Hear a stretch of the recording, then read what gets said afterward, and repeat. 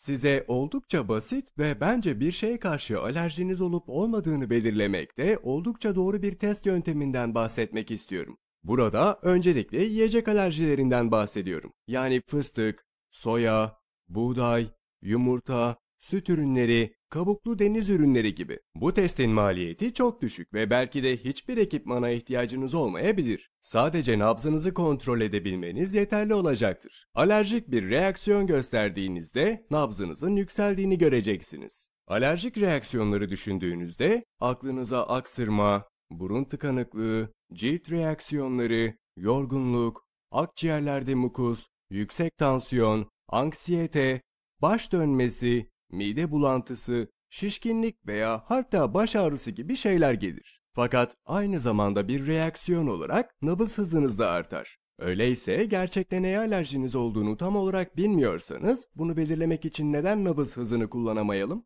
Bu bilgi Doktor Arthur Koka adında bir doktorun çalışmalarına dayanmaktadır. Bu konuda Pulse Test adlı bir kitap yazdı. Kitabın linkini aşağıya bir bağlantı olarak bırakacağım. Nabız hızını takip etmenin kesin bir yolu var. Eğer nabızınızı kendi başınıza nasıl kontrol edeceğinizi bilmiyorsanız aşağıya daha fazla detay verecek bir video bağlantısı bırakacağım. Bir nabız oksimetre alabilirsiniz. Fiyatlarının çok pahalı olmadığını düşünüyorum. Doğrudan parmağınıza takabilirsiniz. Sadece nabız hızınızı izlemekle kalmaz, kaydedebilir ve ayrıca oksijen seviyenizi de izleyebilirsiniz. Yapmanız gereken şey budur. İsterseniz bir defter alıp nabız hızınızı kaydedebilirsiniz. İlk yapmanız gereken şey sabah uyandığınızda yataktan çıkmadan önce nabızınızı kontrol etmek ve bunu gündelik olarak takip etmektir. Sonra yapmanız gereken şey basitçe yemeden önce nabızınızı kontrol etmek ve yedikten 30 dakika sonra tekrar kontrol etmektir. Ardından 30 dakika aralıklı iki kez daha kontrol etmelisiniz. Böylelikle nabızınızı yemekten önce bir defa ve yemekten sonra 3 defa olacak şekilde toplamda 30 dakikalık aralıklarla 1,5 saat boyunca kontrol etmiş olursunuz. Tabii ki yediğiniz her şeyden sonra bunu yapabilirsiniz. Yani bir atıştırmalık yediğinizde veya birden fazla öğün yediğinizde veya ardından sadece yatmadan önce nabızınızın ne olduğunu kaydedebilirsiniz. Bu bilgiyi yeme alışkanlıklarınızla da ilişkilendirmelisiniz.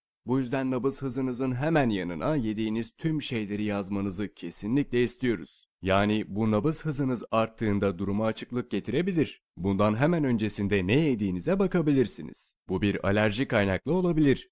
Doktor Coco, genellikle düşük nabız hızı ile daha yüksek nabız hızı arasında 16 puanın üzerinde bir fark varsa bir alerjiniz olacağını gözlemlemiş. Ayrıca nabız hızının genellikle 84'ün üzerinde olması gerektiğini de belirtmiş. Eğer bundan daha düşük bir ölçümünüz varsa büyük olasılıkla bir alerji değildir. Bu başka bir şeyden kaynaklanıyor olabilir. Yediğiniz şeyler sindirim sisteminizi strese sokabilir sindiremiyor olabilirsiniz ya da başka bir stres yaratıyor olabilir. Ya da abur cubur yemişsinizdir. Bu biraz baskı yaratabilir ama bir alerji değildir. Bu sadece vücudunuzun tolere edemediği bir şeydir. Örneğin tüm bu bilgileri kaydettiğinizi varsayalım ve sonra bu değerlere yani nabız hızına bakalım. Sağ tarafta nabız hızınız olsun, sol tarafta yediğiniz şey olsun. Örnek verecek olursak nabız hızınız 60, 70, 75, 69, 72, 94 olsun. Ve sonra belki 73'e düşsün.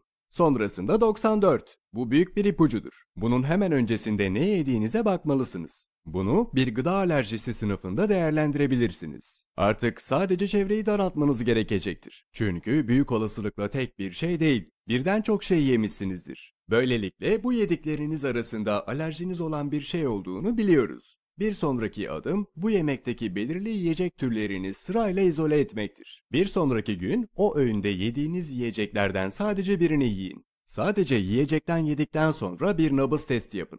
Diyelim ki nabız hızı artmıyor. O zaman bir sonraki gün nabzı artıran öğündeki yiyeceklerden başka birini deneyin. Sonra nabız hızını en çok neyin artırdığını bu öğündeki yemeklerin içinden tamamını sırayla filtreleyerek bulana kadar devam edin. Böylece alerjiyi belirleyebilirsiniz. Artık tek yapmanız gereken bu yiyecekten uzak durmaktır. Muhtemelen sindiriminizin bundan dolayı çok daha iyi olacağını göreceksiniz. Bu süreçte gerçekleşen olay yiyeceklere karşı sempatik sinir sistemi tepkisi oluşmasıdır. Bu savaş ya da kaç mekanizmasıyla nabız hızını artırır. Çünkü otonom sinir sistemini uyarır. Muhtemelen karaciğerde çok fazla stres oluşturur. Çünkü karaciğer bu alerjiden kurtulmaya çalışır değil mi? Yani bu konuda bir etkileşimimiz var. Bence bu neye alerjiniz olduğunu ve olmadığını belirlemek için oldukça geçerli ve iyi bir yöntem. Pratisyenlikte bu testi hiç uygulamadım diye hatırlıyorum. Fakat insanları doktora gönderir, alerji testi yaptırırdım. Böylece alerjilerinin olduğu çok çeşitli ve alışılmadık şeyleri belirlerdik. Bu bilgiler onların diyetinde bazı şeylerden uzak durmamızı sağladı.